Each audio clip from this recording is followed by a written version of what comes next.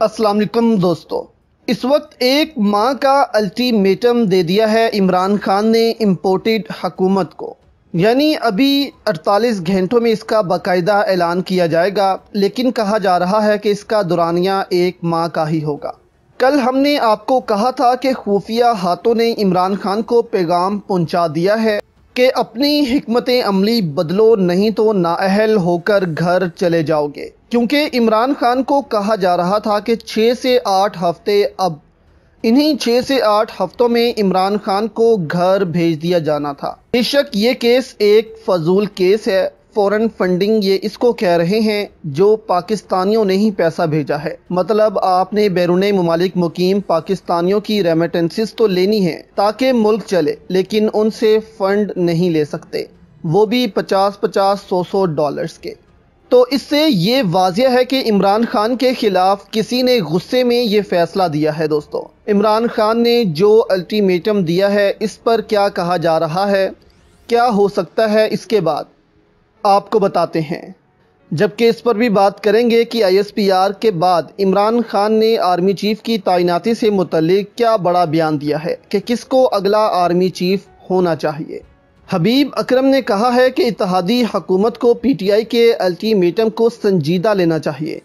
पाकिस्तान तहरीक इंसाफ के पास हर शहर, हर गाँव और कस्बे में स्ट्रीट पावर मौजूद है। इतिहादी हकूमत को पाकिस्तान तहरीक इंसाफ के अल्टीमेटम को संजीदा लेना चाहिए।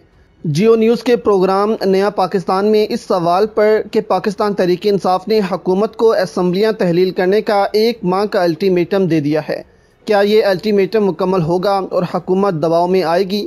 जवाब देते हुए सीनियर सहाफ़ी और तजियाकार हबीब अकरम का कहना था कि इस वक्त पाकिस्तान तरीक इंसाफ मुल्क की वो वाहिद जमात है, जो अल्टीमेटम दे तो इसे संजीदा लेना चाहिए। उनका कहना था कि पाकिस्तान की तीन बड़ी सियासी जमातों में से पाकिस्तान तरीक इंसाफ के पास हर शहर, हर गाँव और कस्बे में स्ट्रीट पावर मौजूद है। इतिहादी हकूमत को पाकिस्तान तरीके इंसाफ के अल्टीमेटम को संजीदा लेना चाहिए।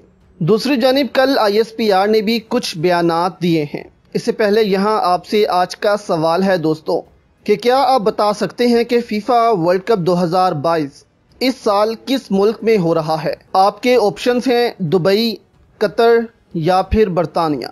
असल जवाब आखिर में बताया जाएगा। सो आईएसपीआर की जानब से कल कुछ बयान दिए गए हैं। सबसे पहले तो उन्होंने शिकवा किया कि जो कोयटा में शहीद हुए हैं अफसरान, उनके खिलाफ एक मुनज़म मुहिम चलाई जा रही है, जिससे आर्मी में शदीद गुस्सा है। यानी पीटीआई पर नॉट डायरेक्टली बट घुमा फिरा कर इल्ज़ाम लगाया जा रहा है कि उनके सोशल मीडिया से आर्मी के खिलाफ ऐसे बयान आ रहे हैं, जिससे शहदा के घर वालों का दिल दुख रहा है।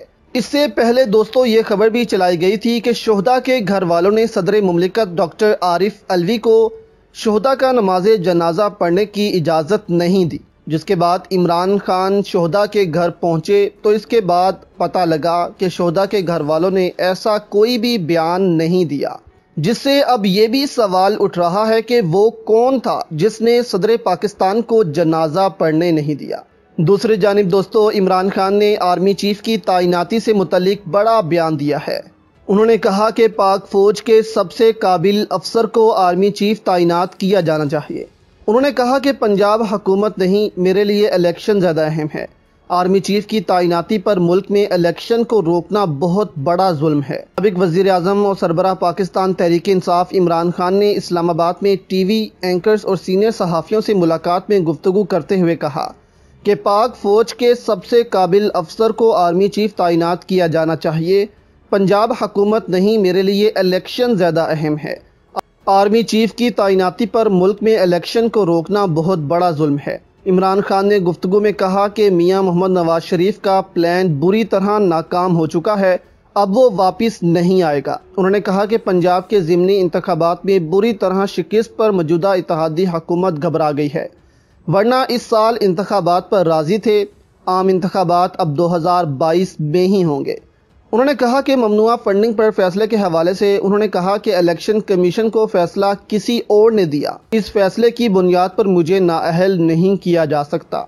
इनके ख्वाब कभी पूरे नहीं होने दूँगा। इलेक्शन कमीशन को तब्दील ना किया गया तो सूबाई हुकूमतों को नहीं छोड़ेंगे। तो यहाँ इमरान खान ने काफ़ी माहरीन कह रहे हैं कि साहिर शमशेद का कहा है कि उनको नया आर्मी चीफ बना दिया जाए। तो ऐसा बिल्कुल भी नहीं है। इमरान खान ने यहाँ वाजिया किया है कि जो काबिल है। ये नहीं कहा कि जो सीनियर है, क्योंकि इस वक्त सबसे सीनियर साहिर शमशेद हैं, लेकिन इमरान खान ने यहाँ पर सबसे काबिल को बुलाने का कहा है। अगर सबसे काबिल साहिर शमशेद हैं तो इनको बनना चाहिए आर्मी चीफ। अगर फैज़ हमीद हैं तो इनको बनना चाहिए। और अगर कोई और है तो उसको बनना चाहिए। इमरान खान का कहना है कि सिर्फ़ एक तैनाती के लिए मुल्क की मीशत को दो पर लगाना है, ये समझ से बालातर है। ऐसा नहीं होना चाहिए। पाकिस्तान में। जबकि उन्होंने ये भी कहा कि मुझसे दो बड़ी गलतियाँ हुई हैं। एक, किसी के कहने पर इलेक्शन कमिश्नर सिकंदर सुल्तान को लगाना और दूसरी गलती मैं नहीं बताऊँगा। क्या आप बता सकते हैं कि इमरान खान से ये दूसरी गलती क्या हुई है? तो इस वक्त मुल्क इलेक्शन की तरफ़ बढ़ रहा है और मेरे ख्याल में इस्टेब्लिशमेंट भी आईएमएफ डील का ही इंतज़ार कर रही है और इसके बाद इलेक्शन की तरफ़ जाया जाएगा।